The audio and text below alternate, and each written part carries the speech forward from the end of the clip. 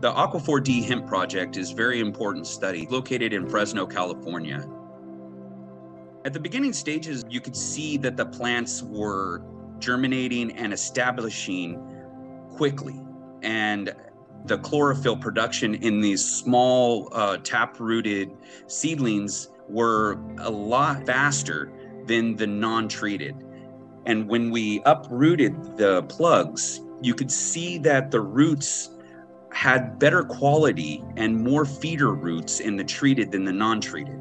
And this is really important because they were looking for the grab, the actual grab of the soil that were in the plugs. So when they went to go transplant, there was less damage to the plant during this transitional phase. With our root mass having more feeder roots, the nutrient uptake is exponential.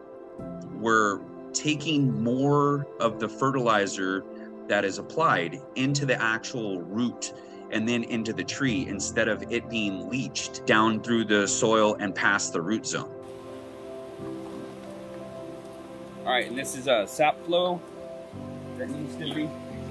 2Grow, let us be able to see the sap flow, the xylem timing. When did it start waking up? When did it go to sleep?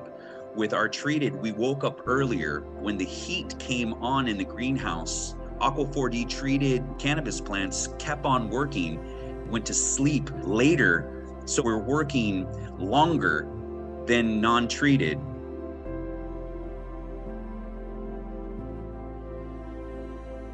The water efficiency was very evident with us keeping the rhizosphere moist longer than the non treated we're seeing that we're able to absorb more water into the growing medium and it stays there and also enables less evaporation. So Aqua 4D and cannabis production is going to be a great relationship together.